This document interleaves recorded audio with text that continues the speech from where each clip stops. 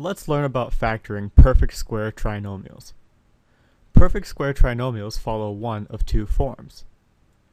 Either a squared plus 2ab plus b squared, or a squared minus 2ab plus b squared.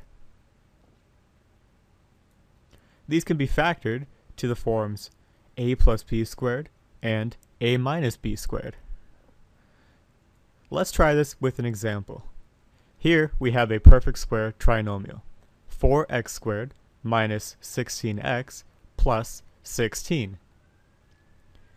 We can rewrite it to be in the above form. So now we have 2x squared minus 2 times x squared times 4 plus 4 squared.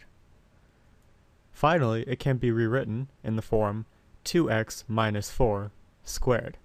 And now we've factored our perfect square trinomial. This only works for equations, or rather expressions, that are in the format of perfect square trinomials.